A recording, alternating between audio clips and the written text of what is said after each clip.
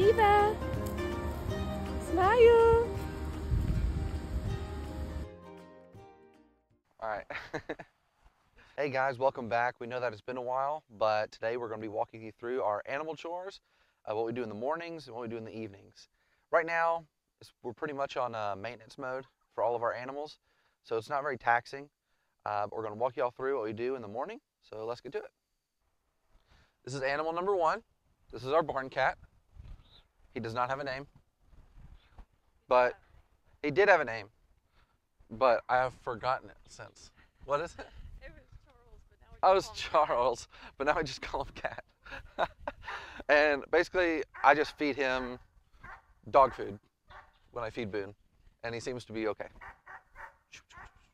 We try not to feed him too much because he is, uh, he does have a purpose here on the farm, and it is to eat mice. So if we feed him too much, he doesn't want to eat any mice. So he's a little mice killer. He's a very chill cat. Uh, the girls love him. Geneva especially likes picking him up by the neck. We're trying to get rid of that.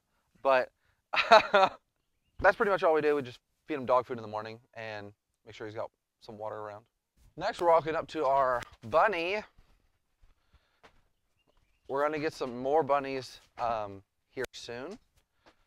Basically, we just look at her, see she's all hopping around. We don't want her getting too big because she's our breeder. Uh, if they get too fat, then they kind of lose their um, drive to breed.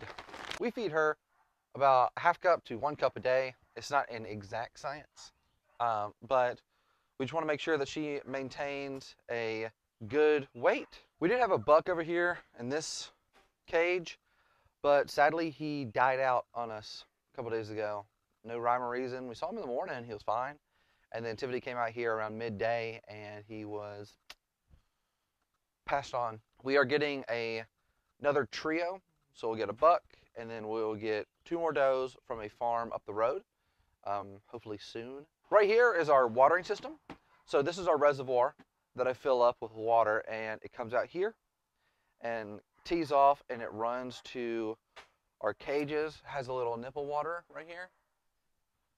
Um, and that's kind of how we make sure that they have water. Now in the evening, um, I come out here and she's had her food for the day, so I give her no more food until the uh, next day, and then I just kind of do this little number, make sure that they have water, and that's it. Evening chores are pretty minimal around here. More of the morning chores that are heavier. And we are going to go do Ben, because I don't know if you can hear him, but he barks constantly until he gets his food. So I'd kind of like to try to do him first, because he's get annoying. So let's go. Sit.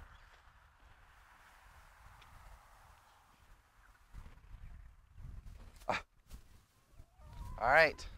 So now we come out here. It's a good, good time to check if Boone has water. No. We'll have to get him water.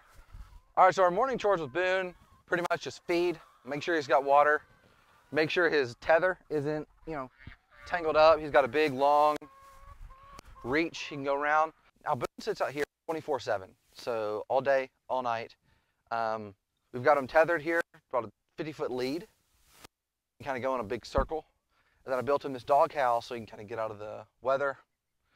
But yeah, so this is it. This is pretty much our only uh, morning chore with Boone is that we come out here, we feed him, make sure he's got water, make sure he's not tangled up, uh, make sure he can go into his dog house whenever he feels like it, and also make sure that he can't reach the broilers. Because right now I think that he can get on top of it. So we're gonna move them, um, but he kind of startles them, kind of freaks them out, makes them turn into a frenzy.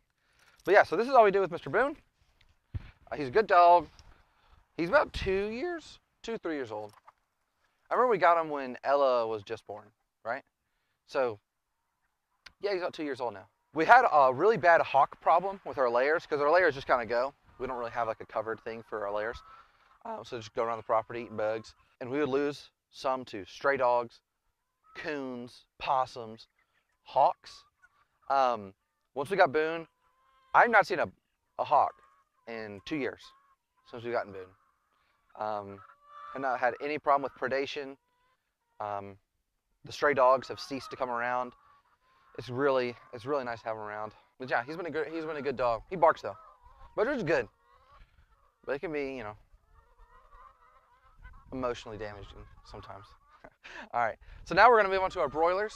Our broilers are probably, I would say, what takes the most, but it's still very minimal as far as chores go. It's not a, they're not a cow, they're not sheep, they're not anything like that. Um, now, if you do a quick little look around, Tiffany does a quick little look around uh, at all the laying hens. Okay, so right now what you're seeing, all these laying hens, this is what you do not want, okay? Typically, I will shut them up in the coop at night, and that way I'm free to do all my feeding, all my watering, no disturbances. This is what you do not want right here, okay? Because now I'm gonna flip this lid open and get that food container out, that trough feeder, and they're just gonna go wild. And they're gonna get in my way, they're gonna spill feed. This is not what you want. But it's, but it's what we got. So we're gonna make the most of it. Take my little lid,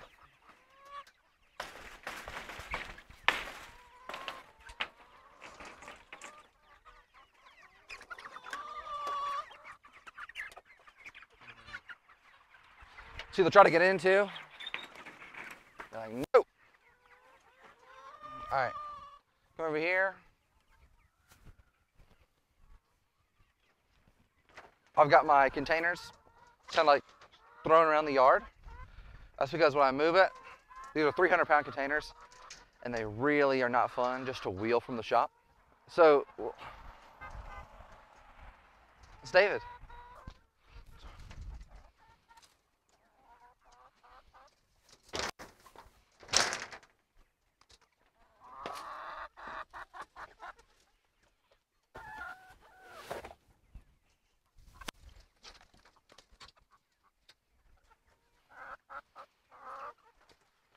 Yeah.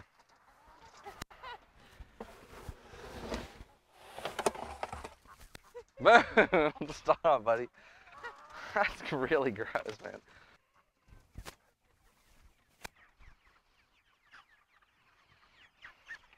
Oh! So yeah, see how happy they are? Now is a great time to check the water. Now I've got these Plasson waters. Plasson is the name brand, and they're great because you just come up to them. If there's no water in the trough, that means there's no water.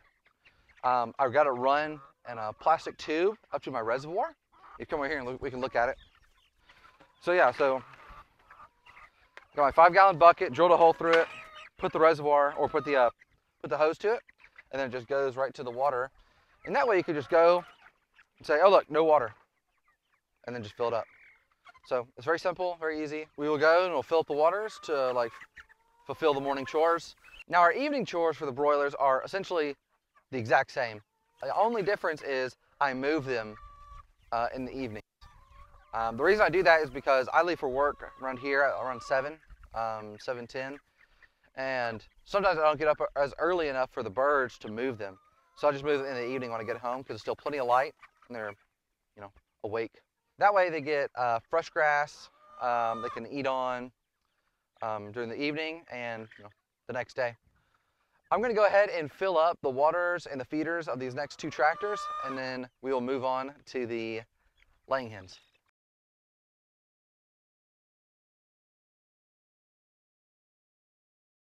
All right, so now we're on to our laying hens. Um, we have about 25 to 30 layers. First thing that we do, come out here and check for eggs. Now on a typical day, I shut the coop up. So I finish all my animal chores, and this is the last thing that I do, is I just open the coop, and they all flood out, and then I can check for eggs. So not a very typical day, because they're already out and about, and I'm sure some are still in the laying boxes. Once I open that coop door, the laying boxes, the laying box hens that are like laying eggs, something like that, they just go out. Now, I would feed them, but they already got their food for the day, as you probably saw. they eat that. They eat out of the trough feeders pretty good. So um, I'm not going to feed them today. But they have a little kiddie pool over there they drink from. So that's their water. They got in their feed.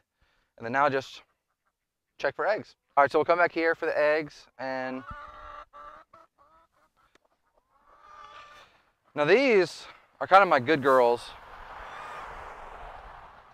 Like they won't um, peck me or anything like that. They don't get too torn up if I um, take eggs out from underneath them. Okay, now she's mean. Okay, now she, you don't want to mess with her because she will get you.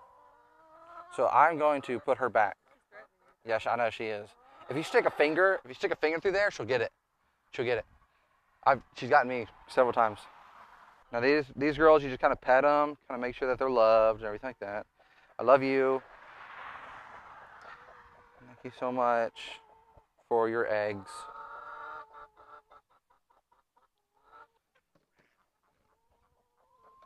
Now, if they are sitting on eggs, I'll leave one egg in there because if you take them all, they get they get kind of upset. So our evening chores are pretty much the same. Pretty much the same. Um, you know, they don't get any feed at night. Feed everybody in the morning. Now, one thing that we do is every couple days, we will shut the coop up and we'll move it forward one inch because they do about 50% of their manure droppings at night. So they can burn out a piece of ground pretty fast. So every two, three days, we will move that. And that way they have a nice, fresh spot to fertilize. So the last thing that we have today is the duck pool. This is pretty much our source of water um, at the moment for all of our birds. So it's just this kiddie pool right here. The ducks will get in there, they'll clean themselves off, and the chickens will come up and drink. So let's fill it up.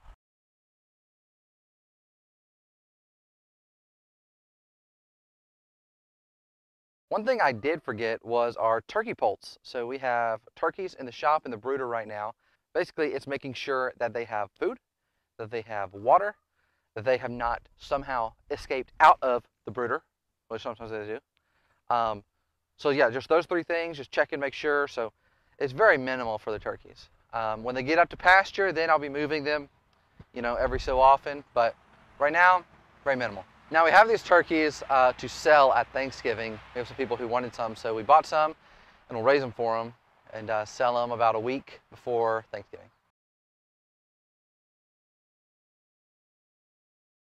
All right, real quick, this is not part of our animal chores, but we thought it was really, we thought it was cool. So uh, my lawnmower broke, so we didn't mow the grass for about, about a month. So the grass got about to this tall. Um, now what we do, you know, we cook, we cook home cooked meals, Tiffany, or Tiffany does, and we throw all the scraps out into the yard.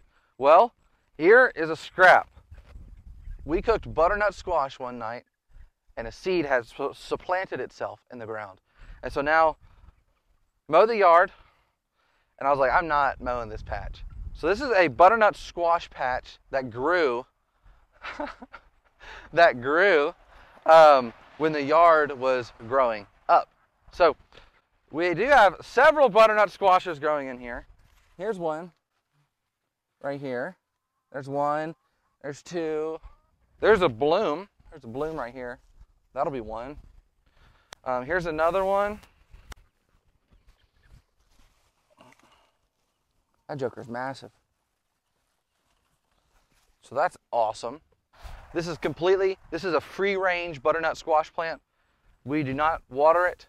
We do not fertilize it. This is all from one seed. All from this is this is all from the Lord. Okay, this is not this is nothing to do of ourselves. Whoa! Now that is the big one. But yeah, so we thought that was neat, so we're going to show y'all. All right, guys. So that wraps up our chores, our uh, our morning and evening chores, and what we do around here. Um, to conclude, we have the cat who eats mice and keeps my shop clear of mice. We have the rabbits who will give us meat, hopefully, maybe one day, the Lord wills. Um, we have our broilers. Uh, they give us meat, and we also sell them, so they give us money so that we can buy stuff. Um, we have our dog who guards the flock, um, guards, the guards the flock from the air predators and from the ground predators. He's great. Uh, we have our laying hens, give us fresh, delicious eggs. And we have our ducks, but that's just for my wife because she likes looking at them. Um, so they do have a function. They do have a function. it's just for her. I think that wraps it up. I think that wraps it up. I think that's all the predators that we know of, hopefully. All the, wait, wait, wait, wait, wait. back it up. That's all the animals that uh, we have here on the farm. This takes me about six hours every morning to do because I want to put my heart and soul into it. You know, I don't want to rush things. I want to actually do things like this and I want to really, you know, no, this takes me about 45 minutes, maybe max, if I do it all. But sometimes I don't, and I get up late, and Tiffany has to pick up my slack. So this takes me, if I do it all, this takes me about 45 minutes uh, to do all the animals. All right, thank y'all for watching, and uh, we will see y'all back next time. Bye, y'all.